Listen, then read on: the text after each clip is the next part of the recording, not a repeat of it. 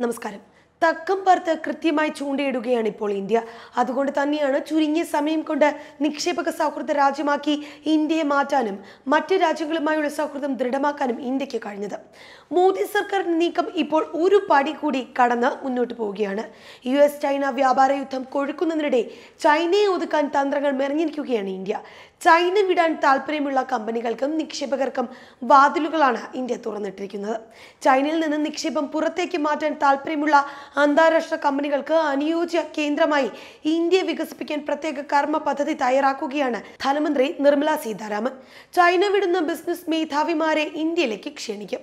ഇവർക്കായി കൂടിക്കാഴ്ച സംഘടിപ്പിക്കുന്നതിന് സർക്കാർ വലിയ പ്രാധാന്യം നൽകുകയാണ്.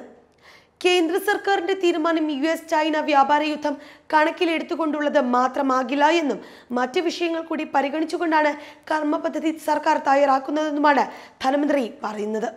ഇന്ത്യൻ വിപണിയിലേക്ക് കമ്പനികളെ ക്ഷണിക്കാനുള്ള ആവാസ വ്യവസ്ഥയാണ് രാജ്യത്തെ രൂപീകരിക്കാൻ സർക്കാർ ആലോചിക്കുന്നത്.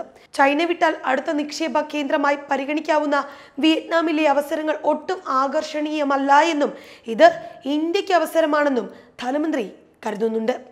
ഇന്ത്യ യു എസ് വ്യാപാര കരാർ ഉടൻ പ്രാവർത്തികമാകുമെന്നും മോദി സർക്കാർ പറഞ്ഞു വയ്ക്കുന്നു ഇന്ത്യ ഒരു ബിസിനസ് കേന്ദ്രമാക്കി ഉയർത്താനാണ് ഇന്ത്യ ആഗ്രഹിക്കുന്നത്.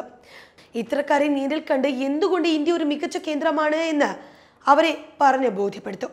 നിലവിൽ ചൈനയും യു എസും തമ്മിലുള്ള വിഷയങ്ങളെ അടിസ്ഥാനമാക്കിയല്ല സർക്കാർ ഈ തീരുമാനത്തിലെത്തിയത് എന്നും മോദി സർക്കാർ പറയുന്നുണ്ട്. മറ്റ് പല കാരണങ്ങൾ കൊണ്ടും കമ്പനികൾ ചൈനയിൽ നിന്ന് മാറാൻ ഉദ്ദേശിക്കുന്നുണ്ട് എന്നും അവർക്ക് ഏറ്റവും അനുയോജ്യമായ ഇടം ഇന്ത്യയാണെന്നും മന്ത്രി പറയുന്നു. അതേസമയം തന്നെ മറുവശത്ത് ഇന്ത്യ യു എസ് വ്യാപാര കരാറിനുള്ള ചർച്ചകൾ അതിവേഗം മുന്നോട്ട് പോവുകയാണെന്ന് ധനമന്ത്രി നിർമ്മല സീതാരാമൻ അറിയിക്കുന്നുമുണ്ട്. ചർച്ചകൾക്ക് ഉടൻ തന്നെ പരിസമാപ്തി ഉണ്ടാകുമെന്നാണ് പ്രതീക്ഷിക്കുന്നത്. ധനമന്ത്രി Nirmala സീതാരാമനും U S treasury secretary Steven മുച്ചിനും തമ്മിൽ ഐ എം എഫ് ആസ്ഥാനത്താണ് ചർച്ച നടക്കുന്നത്.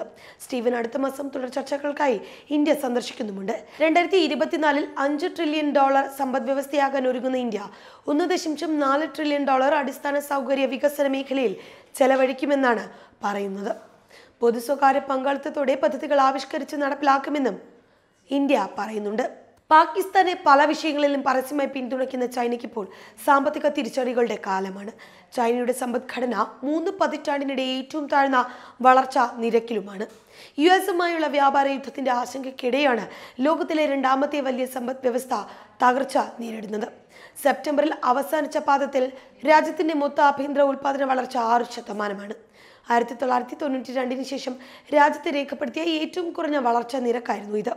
തൊട്ടു മുൻപത്തെ പാദത്തിലെ ആറ് ദശാംശം രണ്ട് ശതമാനം വളർച്ചാ നിരക്കാണ് വീണ്ടും താഴ്ന്നത് എന്ന് വെള്ളിയാഴ്ച സർക്കാർ തന്നെ പുറത്തുവിട്ട റിപ്പോർട്ടിൽ വ്യക്തമാക്കുന്നുമുണ്ട്. ഒന്നും രണ്ടും സ്ഥാനത്തുള്ള സാമ്പത്തിക ശക്തികൾ ഏറ്റുമുട്ടിയാലുള്ള ദോഷമോർത്ത് കഴിഞ്ഞയാഴ്ച യു എസും ചൈനയും താൽക്കാലികമായുള്ള വെടിനിർത്തലിലേക്ക് പോയിരുന്നു. ഇതിന് പിന്നാലെയാണ് വളർച്ചാ നിരക്ക് താഴ്ന്നുവെന്ന റിപ്പോർട്ട് കൂടി പുറത്തു വന്നത്. നികുതി ഒഴിവാക്കൽ ഉൾപ്പെടെയുള്ള നടപടികളുമായി സമ്പദ്ഘടന ഉത്തേജിപ്പിക്കാനുള്ള ശ്രമത്തിലാണ് ചൈന. കോടിക്കണക്കിന് രൂപയാണ് നികുതി ഇളവായി സർക്കാർ നൽകിയത്. പണം വിപണിയിലെത്തിച്ച് ജനങ്ങളുടെ കൊടുക്കൽ വാങ്ങലുകൾ സജീവമാക്കാനും പദ്ധതിയുണ്ട്. വാർഷിക വളർച്ചാ നിരക്ക് ഇപ്പോഴും ആറ് ശതമാനം ആറ് ദശാംശം അഞ്ച് ശതമാനം ഇടയിലാണ് ചൈനീസ് സർക്കാർ ലക്ഷ്യമിടുന്നത്. അതിനിടെയാണ് ചൈനയിലെ നിക്ഷേപകരെ കൂടി ഇന്ത്യ ലക്ഷ്യം വയ്ക്കുന്നത്